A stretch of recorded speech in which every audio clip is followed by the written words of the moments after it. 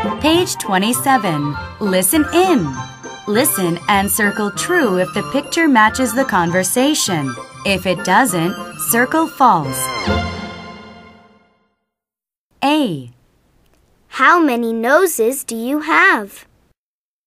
I have one nose. B.